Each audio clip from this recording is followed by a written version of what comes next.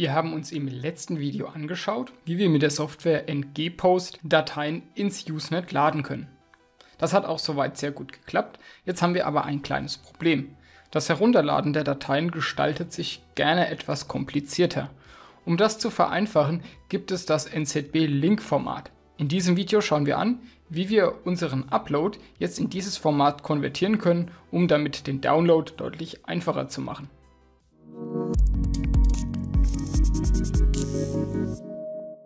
Unser Beispiel war ja, wir haben zum Beispiel Urlaubsbilder ins Usenet geladen und diese Urlaubsbilder möchte ich natürlich mit allen teilen, mit denen ich tatsächlich im Urlaub war. Natürlich verschlüssele ich die Dateien vor dem Upload, weil ich möchte ja nicht, dass alle im Usenet die sehen können, sondern ich will ja auch nur wirklich denen die Bilder zeigen, mit denen ich die aktiv teile und denen gebe ich entsprechend das Passwort. Ich bin hier wieder in ng-Post und wichtig hier ist unsere CSV-Datei. Da sehen wir ja zum Beispiel diesen Header der Datei, wir sehen das Passwort der Datei und wir sehen die Gruppe, in der, das, äh, in der die Datei gelandet ist. So, ich gehe mal auf meinen Browser. Und hier bin ich auf der Seite von NZB-Link oder NZB-Link. Hier gibt es eine Formatbeschreibung, wie die aussehen muss. Ich kopiere die mir gerade mal in mein Notepad rein und dann setzen wir doch mal so einen Link zusammen. Es gibt natürlich auch Tools, die das Zusammensetzen deutlich vereinfachen. Von Tensai gibt es, glaube ich, eins auf GitHub. Das verlinke ich mal in der Videobeschreibung. Trotzdem zum grundlegenden Verständnis würde ich das jetzt einmal manuell machen, also zu Fuß. Vorne muss NZB-Link stehen, okay, das haben wir verstanden. Und dann gibt es einen Titel. Das ist dann für den Download ganz wichtig. Und hier steht ja schon Our Summer Vacation und ich nenne das Ganze jetzt einfach mal Urlaubsbilder. Dann gibt es hier diesen Header-Parameter. Hm, Gehe ich mal hier hin. Welcher war das? Das ist unser Header vom Upload. Also, wer jetzt nicht weiß, was das für eine CSV-Datei ist, einfach mal in die Infokarte schauen. Darüber hatte ich ein Video gemacht, wie man Daten eben ins Usenet hochlädt und am Ende fällt dann bei ngPost diese CSV-Datei raus. Also hier einmal zurück und diesen Header, also das H, können wir jetzt direkt ersetzen. Nein, so wollte ich das nicht. Also nochmal kopieren hier und hier nochmal den Header einfügen. Dieses und am Ende führt immer den äh, neuen Parameter ein, das muss also stehen bleiben. Ne? Also zum Beispiel hier das und H oder Ampersand oder kaufmännisches und, wie auch immer. Und hier das G. Und was haben wir hier? Hier haben wir die, Moment, wo ist er? Gruppe. Den Parameter der Gruppe, also wie heißt unsere Gruppe? Und die heißt laut unserer CSV Alt Binaries MISC und das heißt, das AB steht genau für das. Deshalb kann ich hier gerade MISC dann reinschreiben. So, und jetzt kommt der Clou. Ich kann hier direkt das Passwort mitgeben. Und das heißt, wenn ich diesen Link verteile, hat der Empfänger auch gleich das Passwort und kann die Daten entschlüsseln. Das Passwort ist hier zu finden. Markiere ich mal und gebe das Ganze ein. So. Tja, was mache ich jetzt mit diesem Link? Probieren wir mal was. Ich gehe mal in den Firefox und gebe den hier oben ein. Ja, tja, ich habe News Hosting installiert. Das ist der Newsreader von News Hosting und der wäre jetzt in der Lage, diesen Link zu öffnen. Clevere Sache, war mir jetzt vor dem Video ehrlich gesagt auch noch nicht klar. Ich wollte ja was anderes zeigen. Wenn ihr den nicht installiert habt, kommt bei euch jetzt wahrscheinlich irgendwie gar nichts oder er kann damit nichts anfangen. Mit News Hosting will ich es aber in diesem Video gar nicht zeigen, deshalb breche ich das Ganze mal ab. Und zwar gibt es das tolle Browser-Add-on NZB Donkey. Auch das ist von Tensai. Das ist wirklich ein ganz tolles Tool und ich klicke hier mal auf zu Firefox hinzufügen bestätigt das Ganze einmal und jetzt kann ich hier einstellen, was mit NZB-Dateien eben passieren soll. Der Klassiker wäre hier jetzt im Download-Ordner speichern. Ich will es ja aber einfach machen zum Downloaden, also würde ich doch sagen, schicken wir das Ganze mal an SubNZBD. SubNZBD habe ich hier schon offen, hatte ich auch in einem anderen Video gezeigt, wie ich das mit News Hosting einrichten kann. Auch da lohnt sich ein Blick in die Infokarte. Was muss ich jetzt tun, damit ich mit NZB-Donkey auf SubNZBD wiederum zugreifen kann? Bei mir läuft das ja lokal, also das Add-on läuft auf dem gleichen PC wie auch SubNZBD, deshalb steht hier bei mir auch Localhost drin und das ist auch völlig richtig so.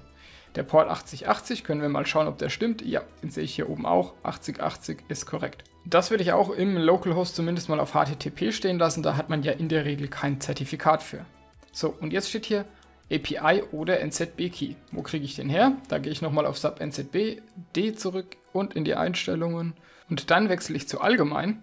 Und hier gibt es eben diesen NZB-Schlüssel. Den kann ich einfach mal kopieren. gebe den hier in NZB-Danke ein. Man kann jetzt hier auch den API-Key hergeben, das ist halt dann für eine erweiterte Benutzung, wollen wir jetzt aber erstmal nicht machen. So, das heißt, was passiert da jetzt? Ich mache erstmal Verbindung prüfen. Gut, der konnte sich jetzt zu sub-nzbd connecten und der kann ihm jetzt NZB-Dateien hinwerfen.